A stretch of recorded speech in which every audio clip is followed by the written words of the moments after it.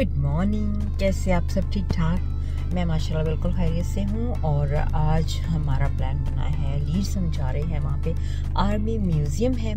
वो देखेंगे। इसके अलावा जो जो देखेंगे, जो काम करेंगे, जो भी यानी कि इंजॉयमेंट करेंगे, वो आपके साथ शेयर करते जाएँगे। तो हमारे साथ साथ ही रहिएगा, फिर मिलते हैं। थोड़ी देर में आपको सफ़र भी दिखाते हैं, कैसा रहेगा और वहाँ पे क्या क्या होगा। अब हम पहले आए हैं यहाँ पे भी फीचर पे ब्रेकफास्ट करने के लिए। तो मैं आपको दिखाती हूँ ये वाली जगह है। यहाँ पे हम नाश्ता खाने के लिए आए हैं। प्रीमियर होटल के साथ है ये जगह। रास्ते में आती है। तो यहाँ पे नाश्ता खाने के बाद हम जाएँगे Leeds museum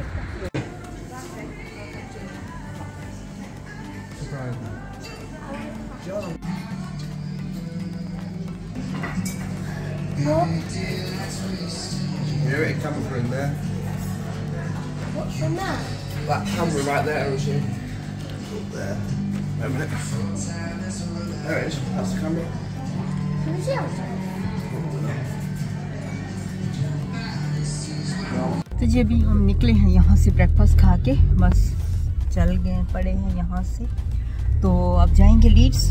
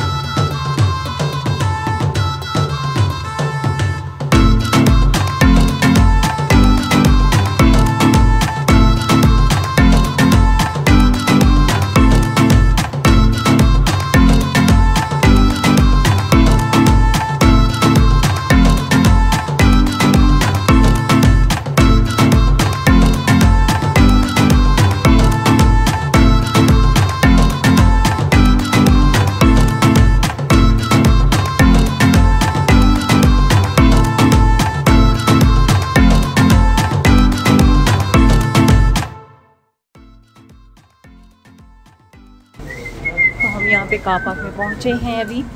गाड़ी पार्क की है तो सब जाने लगे हैं अंदर। अभी कुछ और लोग जो है वो मीट करेंगे इन साइड तो ऑफ़िस अरे कब से मैंने देखा ही वीडियो बनाते बनाते नील नीचे गिरने लगी। ओह माय गॉड वाकई में फ़ोन बहुत ख़तरनाक होते हैं। जब हमारा ध्यान पूरा फ़ोन के अंदर होता है ना तो ऐसे होता है। अभी पता है क्या, वही बताने लगी हूँ कि हुआ क्या था। वॉक कर रही थी तो रोड क्रॉस करके ना, यानी कि कार पार्क से ही रोड क्रॉस किया। क्योंकि गाड़ी नहीं थी, हमने सिर्फ़ रोड क्रॉस ही किया वहाँ से। तो आपको दिखाती है, देखें, ये ऐसे कर्व थी। तो मैंने कर्व से नीचे पाँव रख लिया। मुझे नहीं पता था कि ये कर्व वैसे ही वॉक कर थी, ऐसे वॉक जैसे नॉर्मल रोड पे होती है। तो मैं एकदम से ऐसे नीचे को हुआ।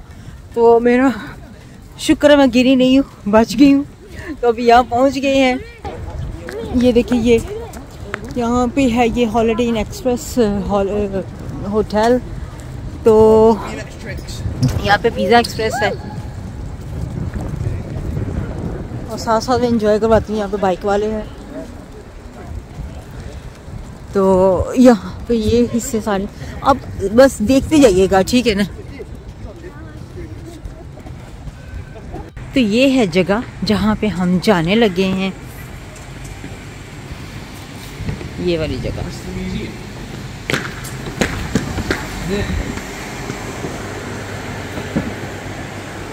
अंदर देखते जाएँ, काफ़ी अच्छा म्यूज़ियम है, जो सुनने में आया है। तो मैंने कहा, चले, आज सैर करते हैं, देखते हैं यहाँ पे भी। ये शॉप है, यहाँ पे सामान मिलता है, जो इनका म्यूज़ियम वगैरह में रखा था ना, जिस तरह से आर्मी का। तो वही सामान यहाँ से भी बाई कर सकते हैं। ये देखिए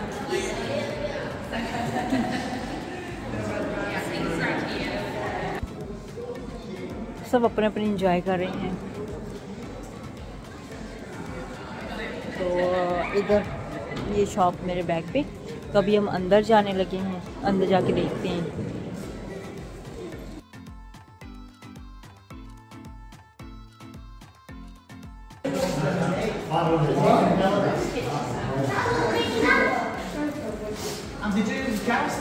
तो यहाँ पे सॉड है। जैसे पहले ज़माने में फ़ाइट करते थे ना सॉड के साथ ये वो वाली सॉड है। इस तरह से यूनिफॉर्म पहनते थे।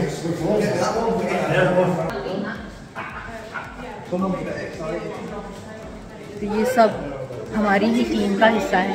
अब आप पंद्रह लोग हम आए हैं फिफ्टीन ये सारे। सारे मिलके यहाँ पे इकट्ठे हुए हैं। हम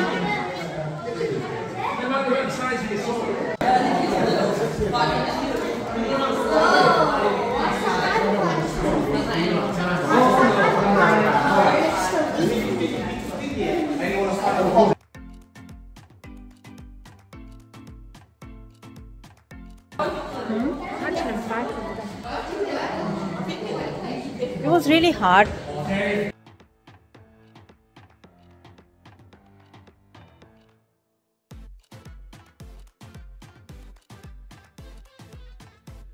ये शॉप का हिस्सा है, यहाँ पे हम बाद में आएँगे। थोड़ा सा हम जाके सारा देखें म्यूज़ियम।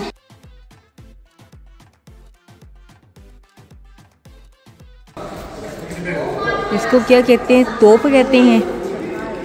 इतनी बड़ी। यहाँ पे ये स्मॉल है बिग है। अब मुझे नहीं पता इनको कहते क्या हैं, जो पहले ज़माने में ये यूज़ करते थे जंग वगैरह में तो वही वाली हैं। तो ये भी देखें आप।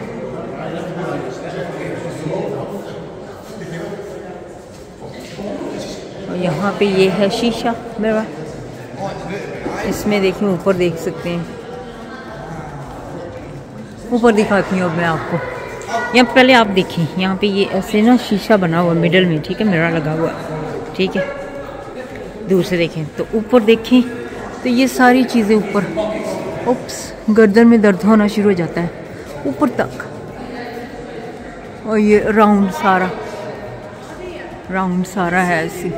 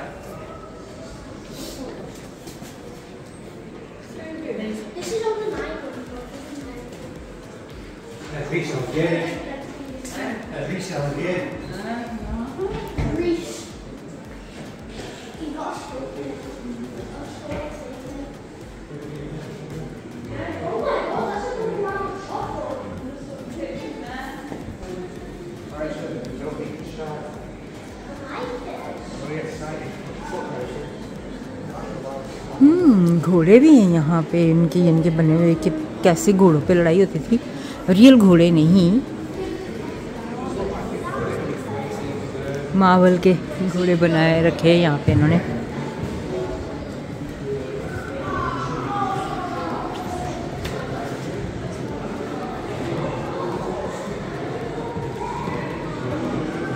ये यूनिफॉर्म मेटल की यूनिफॉर्म जैसे नहीं पहनते होते थे पहले ज़माने में, इस तरह से। दस इंटरेस्टिंग ये चीज़ बहुत इंटरेस्टिंग मुझे लगी है, ये देखें ज़रा गौर से देखो।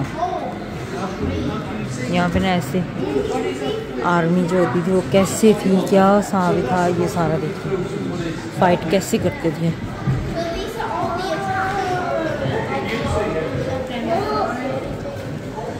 काफ़ी ये चीज़ें अगर देखें ना तो काफ़ी इंटरेस्टिंग लगती हैं कभी इनके बारे में सोचें.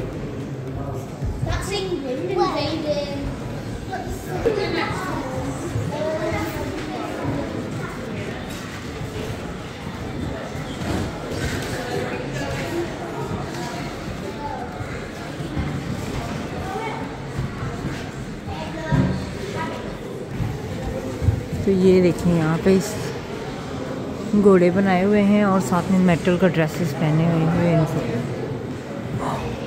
ओह माय गॉड अभी दिखाऊँ मैं आपको, ये देखिए।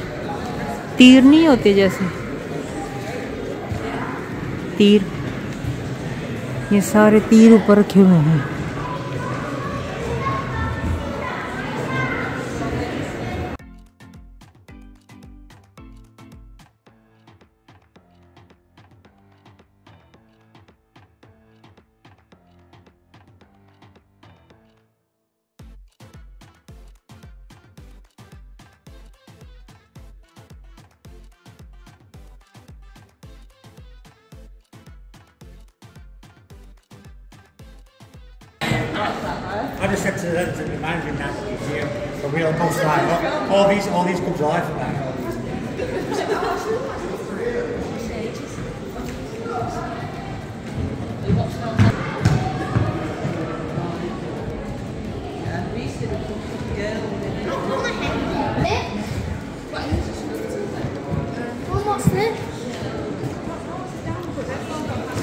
गन्स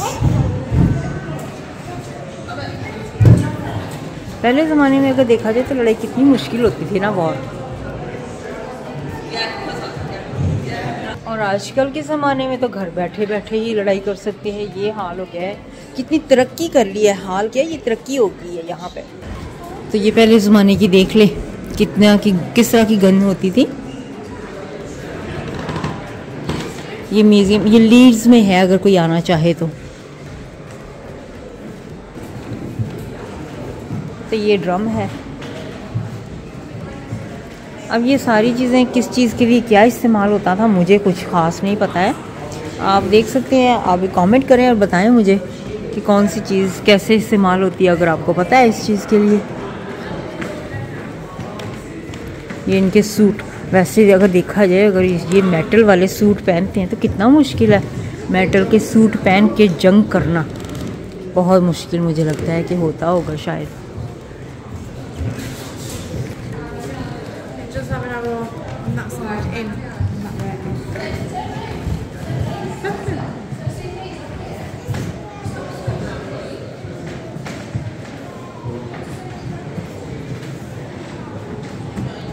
थोड़ा सा आपको मैंने कहा दिखा दूँगी यहाँ पे कौन सी चीज़ को क्या करते थे और कैसे इस्तेमाल करते, ये थोड़ा सा वीडियो भी लगा हुआ है यहाँ पे।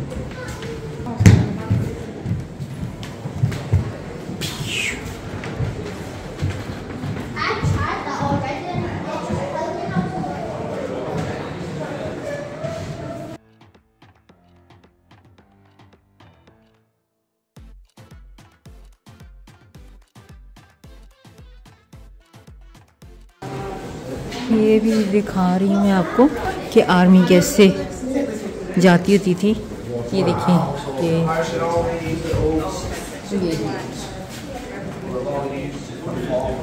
यहाँ पे जैसे सेट करके बना के दिखाया है कि आर्मी कहाँ पे कैसे सेट होती थी। ये सारा कुछ फाइट करते थे जब वॉर होती थी।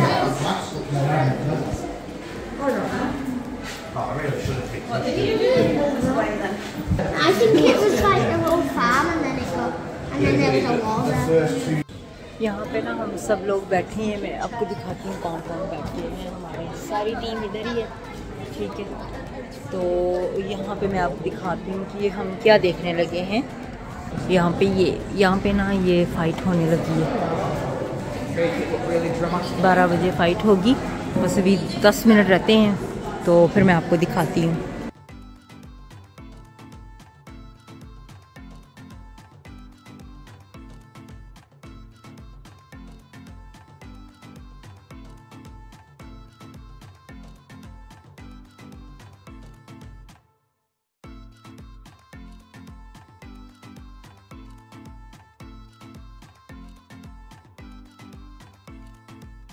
तो जी, यहाँ पे होने लगी है फाइट इवेंट हो रहा है तो ये हमें यहाँ पे दिखाने लगे हैं।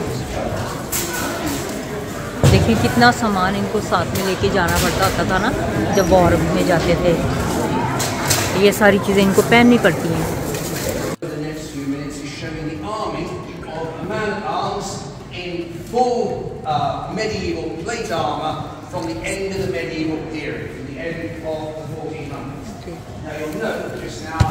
I use the term man at arms and not knight. Because by the end of the medieval period, knighthood meant pretty much the same as it does today. If you hadn't been knighted by a monarch, you weren't a knight. And sadly, the king has not got around to knighting Mike Not yet. yet. No, we're sending a petition to Buckingham Palace, maybe it but probably not in the immediate future. So Mike will be a man at arms, and that was the standard term uh, in the late medieval period for someone who would come to a battle fully armed like this with weaponry and with the necessary assistance uh, to get him into it, and who could then go out and fight and help win a battle. So, put it simply, everybody who wore armour was a man at arms, only some men at arms were knights. So there's one bit busted. So, the next thing I want to do is just put this into a little bit of context before we uh, start the army. And the context I'm going to put it in is that armour changed over the medieval period. Changed dramatically in its design and its effectiveness. So if we take two single dates, 1066, the end of the Norman invasion of England, and the end of the 1400s with the Wars of the Roses and the battles of Towton and Bosworth, then you see two complete... It's been a lovely day already. Uh, so they mainly mail, and about the only bit of plate armour they would have had were their helmets. So, so the left is strong, and it's the uh, right, not to be weak so much, but that's where any buckles and that's where any straps are, are more better suited to be located.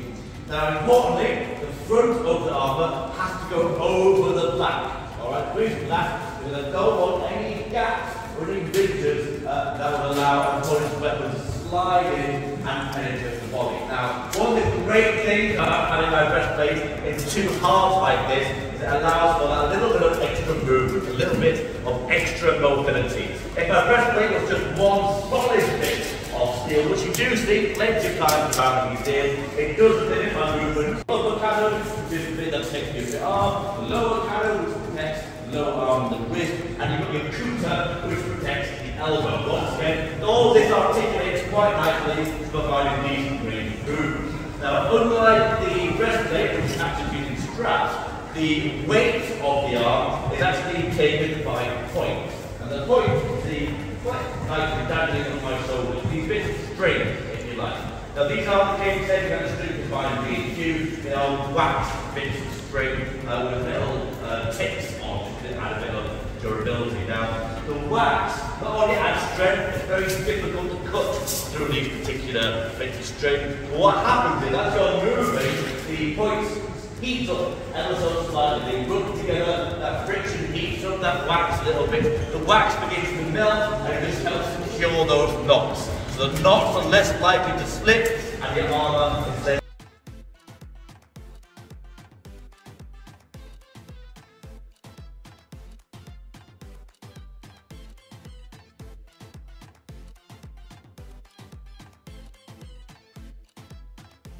reasons why being a squire uh, is a good job to have. It's an important job to have. If he was to put my armour on badly, and I was to get injured as a result, or worse, die, then he'd probably be out of a job. But uh, he's been doing it long enough now, so hopefully he's not going to do it wrong. No pressure. Here, here, I won't do it wrong at all. Now, it's tying directly to the arming jacket, that last fabric garment that I put on by myself. And then just to secure the arm.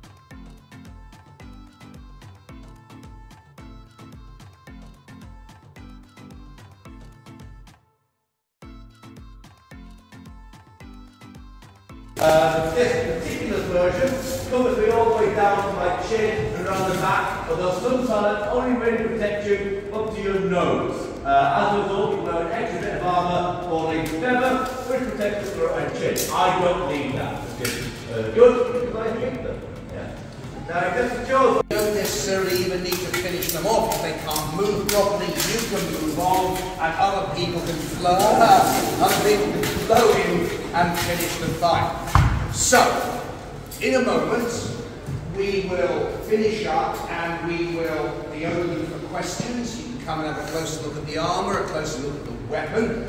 Just before that, I'm going to ask Mike to take a few poses. So anyone who wants to take a photograph of him fully armed, do it over the next 25 seconds or so. So, series of poses for. Excellent. So, when we are handing out the weapon, the only thing I'm going to say to you all is be careful with it. As we've established, it can be a dangerous weapon. Keep it pointed up in the air and don't walk away from me with the weapon in your hand.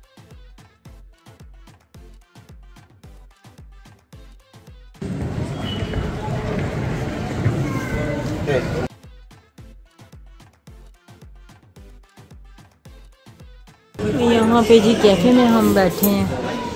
अभी खाना खाने लगे हैं सब। काफ़ी बड़ा cafe है।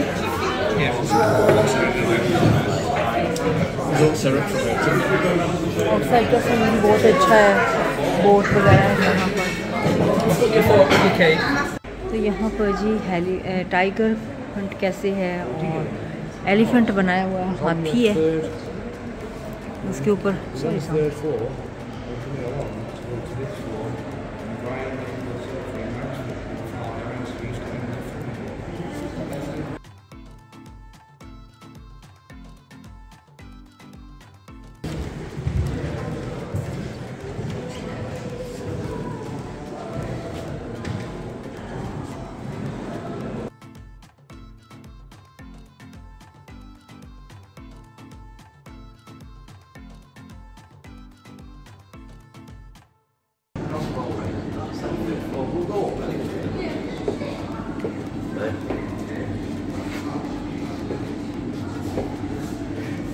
धूप की वजह से ना सही तरह से नज़र नहीं आ रहा है ना।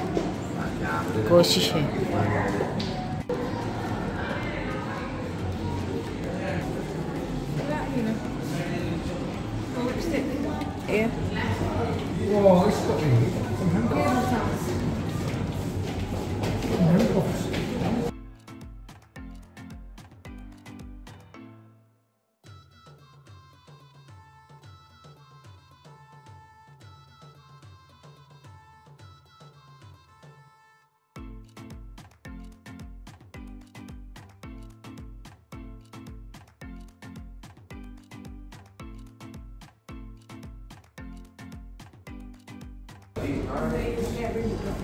यहाँ पर ये, मैंने कहा ये भी मुझे अच्छा लगा कि यहाँ पे पिक्चर बना वीडियो बना लेती हूँ यहाँ पे भी, कि ये भी आपको दिखाऊँ किस तरह से भी।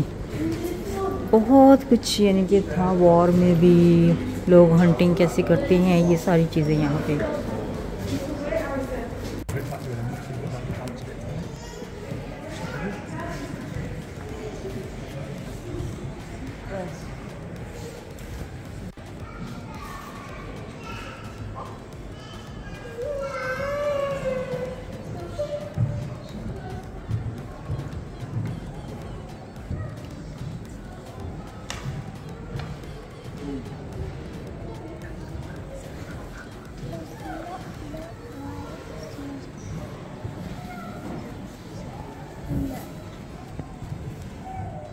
तो जी यहाँ पर हम अभी रुके हैं, यहाँ पर सर्विस पे, क्योंकि हमें भूख लगी है, वहाँ पे हमने कोई ख़ास खाना नहीं खाया था।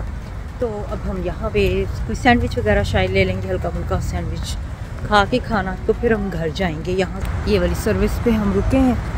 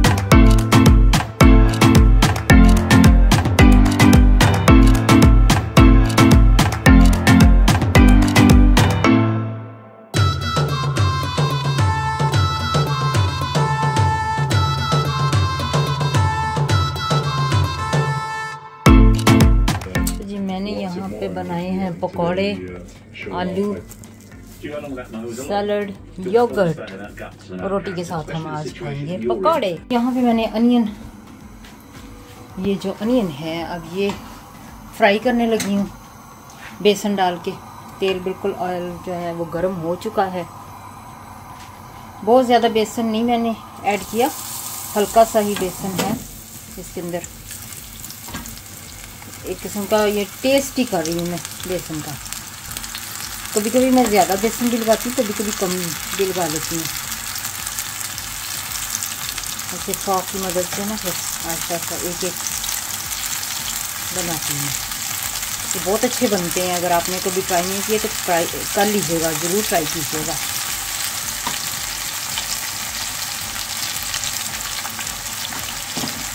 बहुत ही टेस्टी होते हैं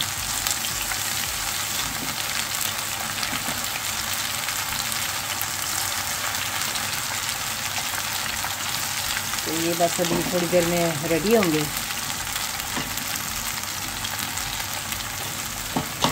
थोड़े से ही मैंने कहा चलो सारी ऐड कर देती हूँ।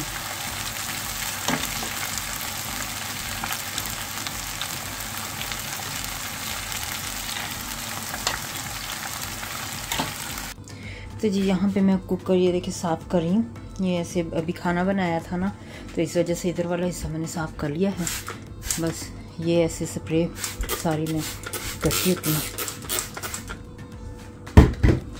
तो फिर मैं सारा इसको ऐसे सारा ना साफ़ कर लेती होती हूँ।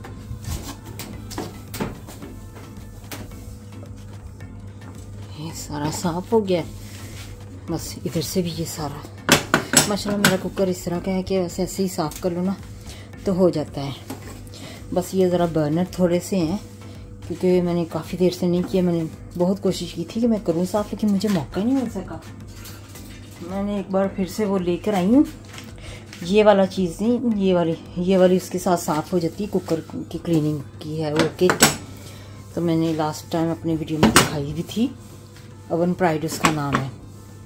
तो वो मैं लेकर आई थी। तो उसके साथ मैंने पूरा कुकर जो है वो साफ़ करना है अभी। मुझे बस मौका ही नहीं मिलता साफ़ करने को।